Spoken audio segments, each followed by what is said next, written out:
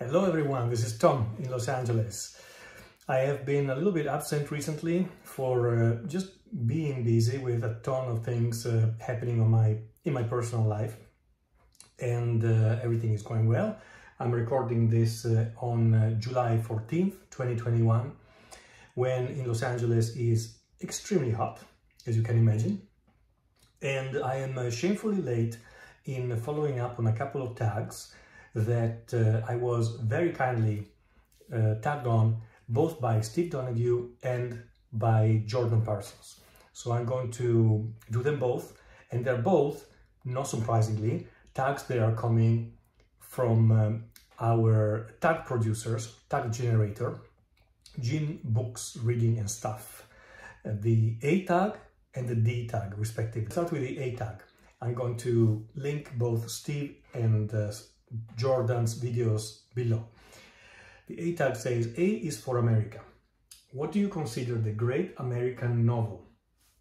This is a little bit of a difficult question for me, uh, mainly because I haven't, um, I don't feel like I have read enough American classics to be able to answer this question properly.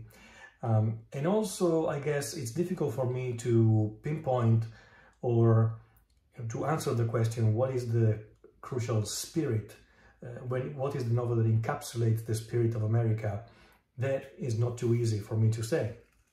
I'm going to say uh, The Grape of Grapes of Wrath because it's one of the novels I've read, uh, the classics, and uh, I loved it. Uh, I think I loved everything by John Steinbeck.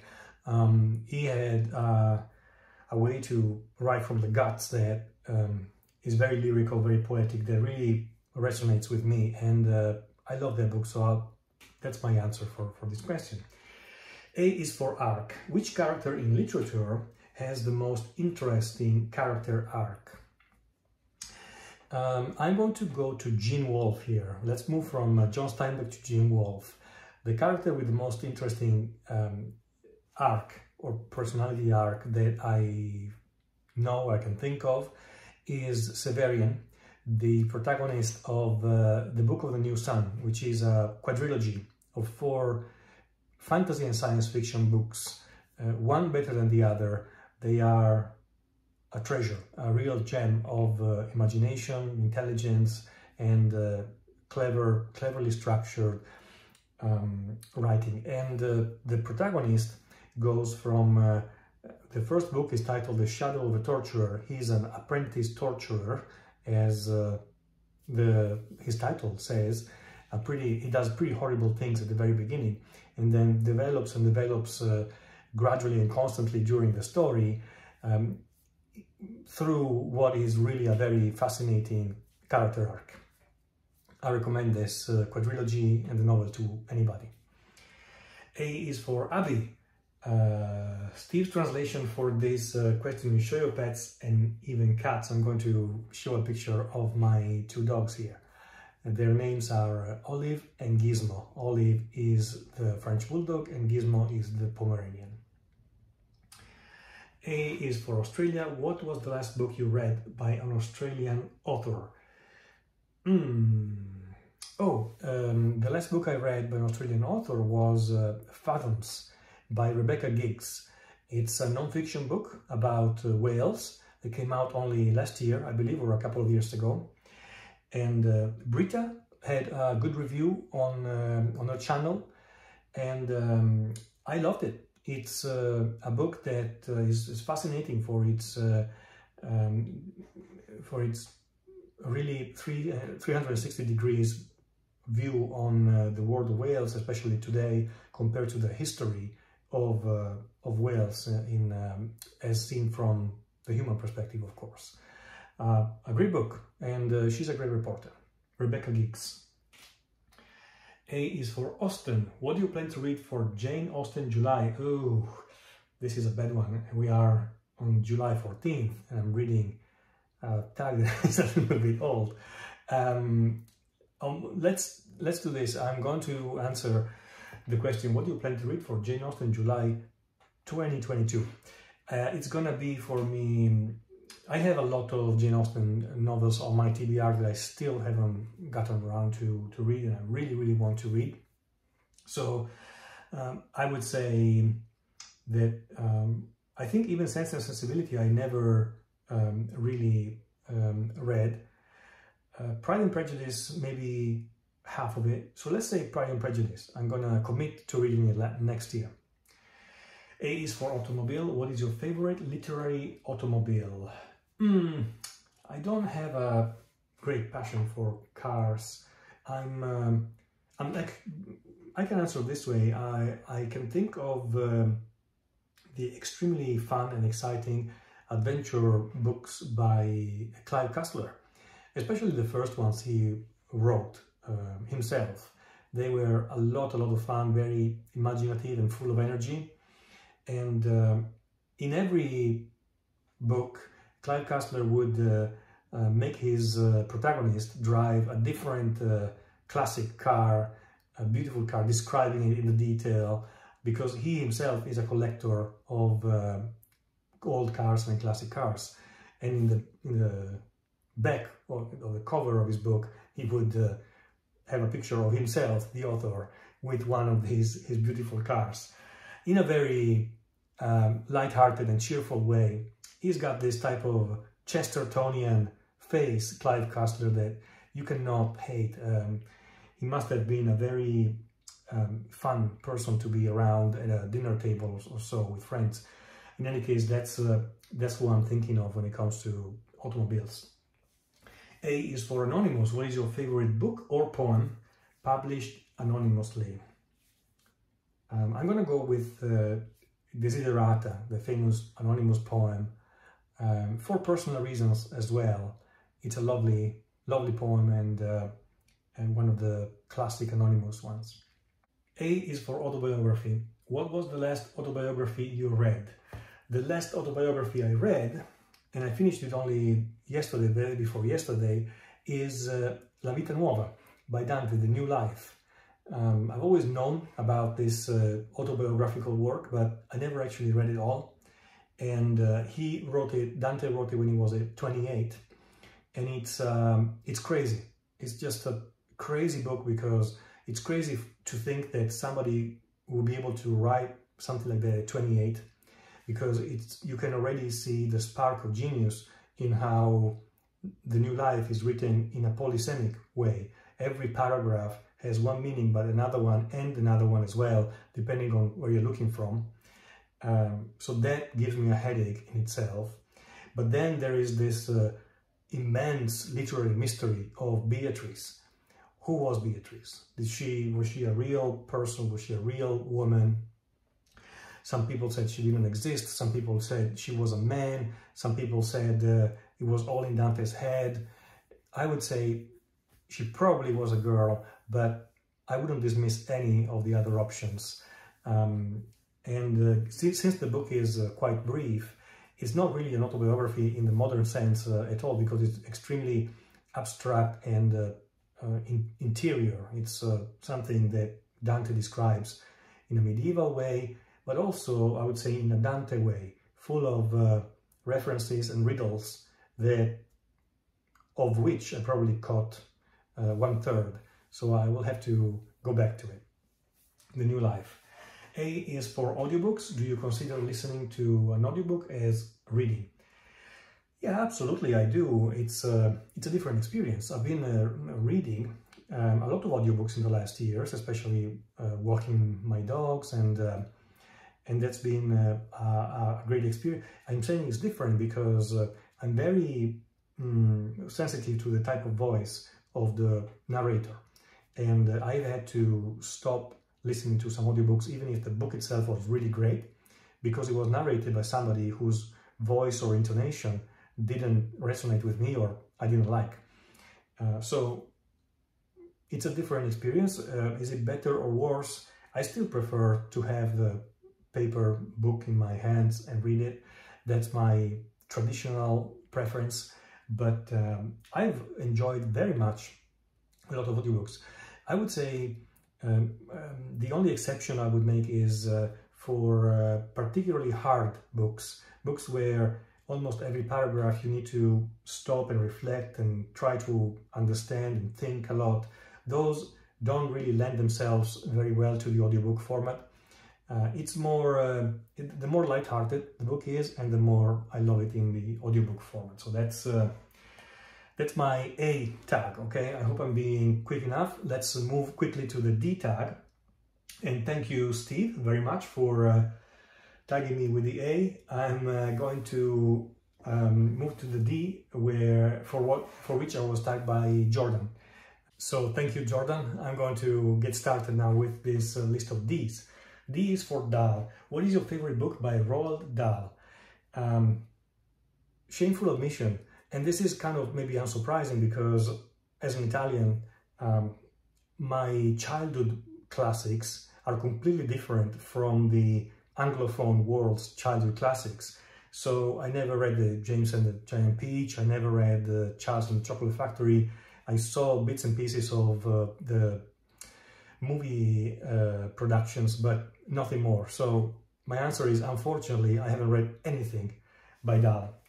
These for Doctor Who. What is your favorite book about time travel? My favorite book about time travel is actually a book called uh, Replay by Ken Grimwood. Uh, I don't know if it's very well known. It's a science fiction book, of course, time travel. And uh, I'm going to read this brief blurb here. Jeff Winston was 43, uh, trapped in a tepid marriage and a dead-end job, waiting for the time he could be truly happy when he died.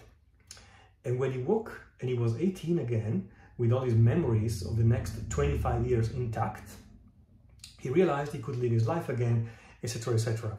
It's um, the book was actually um, written, I believe, in the 80s. Let me briefly check here. Uh, either 70s or, or 80s. Um, 86. In 86.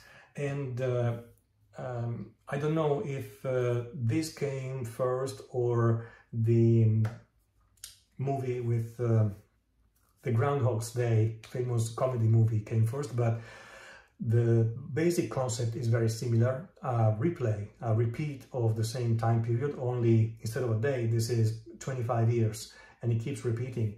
Uh, very well executed, uh, very fun, with no pretensions of uh, high literature, uh, but it's, it's a recommended book for, for anyone, really. Replay. Great, great novel. Um, D is for dark. What is the darkest book you have read? I think the darkest book I have read is American Pastoral by Philip Roth. I cannot think of, even if it's not a horror book or, uh, but I cannot think of uh, a darker, darker um, book than that. Psychologically dark, morally dark, visually dark, thinking about uh, his daughter, especially the protagonist's daughter, the way he finds her towards the uh, second part of the book.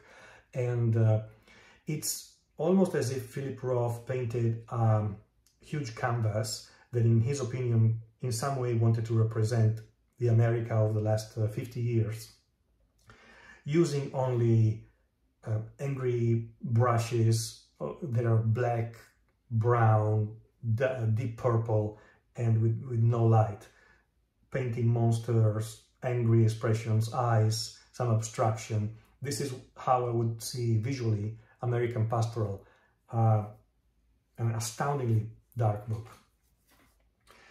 Um, uh, D is for Dickens. How many Dickens novels have you read? Not many, not as many as I would like. Um, uh, my next one on my TBR is actually Harsh Times. I'm looking forward to reading that one. Um, the Little Curiosity Shop I believe that's the title, is one um, of the maybe four or five that I read, and uh, maybe one of, the, my, of my favorites. The Little Curiosity, the Little Curiosity shop uh, from a delight and pleasure point of view, I really loved, and uh, A Tale of Two Cities, more from an intellectual standpoint, I, I liked those two, but I, I need to work my way through his body of work. D is for dictionary. In these internet years, do you still use physical paper dictionaries? Uh, sometimes I do, and um, as somebody who uh, is still missing the meaning of many English terms, uh, and Italian terms. I've always, um, even when I was living in Italy and didn't know I would have ended up in different countries and continents, uh, I was picking up my Italian dictionary because it's a way to have your imagination stimulated in uh, very quick ways. And uh, uh, it's really, it really is an exercise for your memory, for your language, for the center of your language, and for your imagination, for your creativity. So it's something that should be done very often. D is for Dagger and Detective. What was the last detective novel you read? Um, probably one by Ian Rankin. I've really enjoyed uh, that series. It's a long series. And uh, I like the tone, the atmosphere that Ian Rankin is able to create and, and to build. I don't remember the title, I, I probably read five or six. D is for Dostoevsky. What is your favorite Dostoevsky novel? Oh, um, I haven't read them all, but uh, I think it would be probably easier for me to say which one is my least favorite. The least favorite of all Dostoevsky's novel is The Gambler. The Gambler is um, quite fun, uh, but it's so simple and uh, and slim, and uh, um, I believe he wrote it uh, to pay off some gambling debt himself because he was a gambler himself and uh, he had such a tight time frame he probably wrote it in something like a few weeks. And you can you can say you can tell by uh, how quick the writing is and uh, uh how fast everything moves forward. Of course it's dostoevsky so what dostoevsky writes uh, under the creditor pressure in a month is better than what most authors could write in five years, but still is, in my opinion, his worst that I that I've read. Uh, D is for diversity. Which book do you, from your reading, tick the most diversity boxes? Let's say Project Hail Mary by Andy Weir. I cannot say why uh, this uh, book um, is uh, ticking a lot of diversity boxes um, because I would spoil the plot otherwise. But uh, it's a book I loved. I really, really love. It came out only this year or last year, very recent. Uh, it's brilliant. It's uh, peppered with um, a lot of uh, plausible, scientific, uh, hard science uh, ideas on every in every page, and everyone should read it. It's a lot of fun. It's a really a lot of fun. D is for drawing. Who is your favorite visual artist? I don't have a favorite visual artist, although probably Van Gogh uh, comes close. But in my life and experience, because I'm very visual and I love, love, love visual arts, uh, it keeps changing. I always have a new favorite one. In this particular period of time, because I'm following a particular project um, as a hobby about uh, surrealism, my favorite uh, visual artist is Giorgio De Chirico, Italian surrealist who made his bones uh, in Paris with uh, Dali, with the gang of uh, historic surrealists, and then he moved back to Italy where he uh, drew this uh, beautifully colored colors that give me emotions just uh, looking at them. Um, surreal landscapes with classical architectures and um, surreal and abstract uh, human figures made of mannequins or uh, puppets with a little bit of classicism but uh, deformed by his own artistic sensitivity.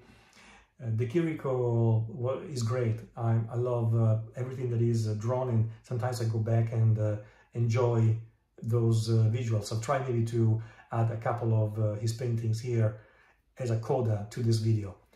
I hope I didn't talk too much. Thank you very, very much for listening to this uh, 2001 video and thank you, Steve. Thanks so much, Jordan, for tagging me and sorry again for being so late. I hope you are all doing very well. Bye.